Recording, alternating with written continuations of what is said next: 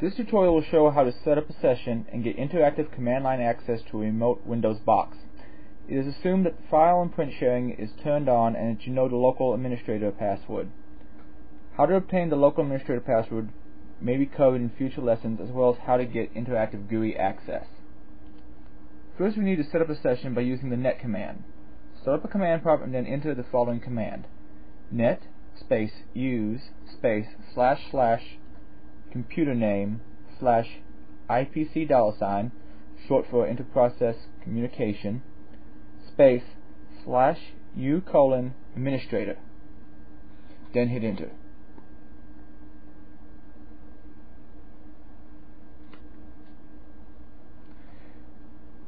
Now we enter our password and a session as a local admin on the box is now set up. The next step is to turn off NTLM authentication to the Telnet server. This step may not always be necessary depending upon where you are telnetting from. You can turn off NTLM authentication by opening regedit, then opening the remote registry of the box you want to control.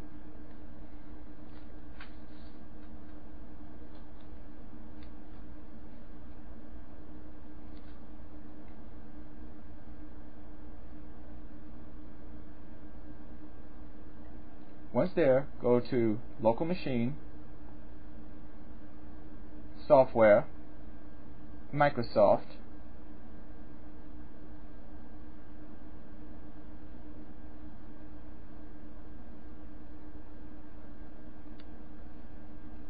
Telnet server, and then change NTLM and set it to zero.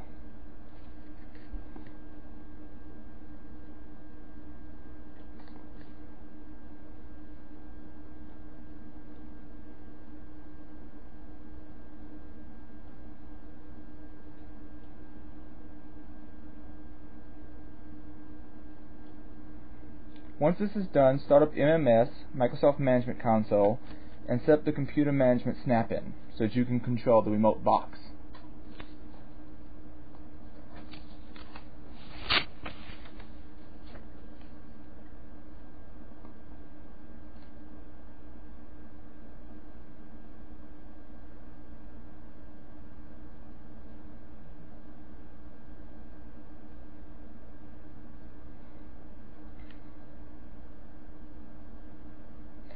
From the Computer Management Snap-in, you can do all sorts of things, including looking at the event logs, adding users to groups, and other administrative tasks.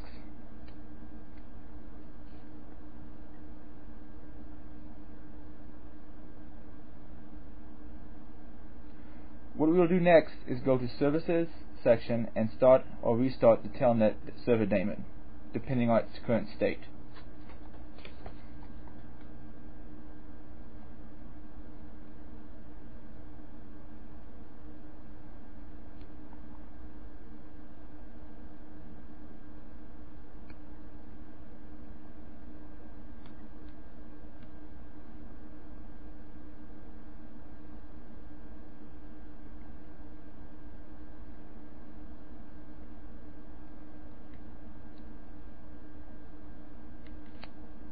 Now all that is left to do is log in and run the commands we want.